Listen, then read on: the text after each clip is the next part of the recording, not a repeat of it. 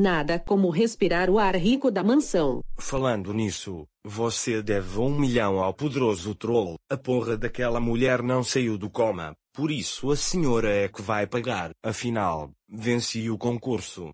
Aceito cheques. Vê se não enche saco. Estou muito puta. Aquela mulher era minha chance de ir à alta sociedade e agora fudeu tudo. E eu não posso paquerar belos garotos ricos, sou uma menina triste. Estamos quase sem fundos.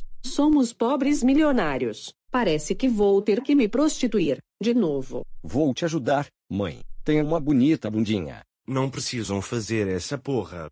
Sei como resolver nossos problemas. Nossos problemas. Sim. Os meus, os da senhora e do seu filho Vadinho. Falo do concurso da menina mais bonita do país. Que será realizado nessa cidade. E a Mauricinha tem tudo para vencer. Empresariada por mim, claro. Tia Lesbos, você precisa mesmo ir à colônia. Afinal, você vai ter que acampar com várias garotas adolescentes. Sim, várias garotas adolescentes peladas. Sinto uma inveja mortal da senhora. A senhora sabe que tem problema com ninfetas, não sabe? Foda-se, não quero passar a vida descabelando palhaço no banheiro. Está na hora de eu enfrentar meus demônios.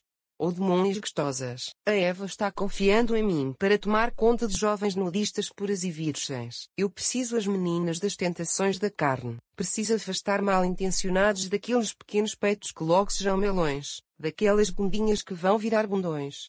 Das periquitas que vão ganhar pelos. Caralho.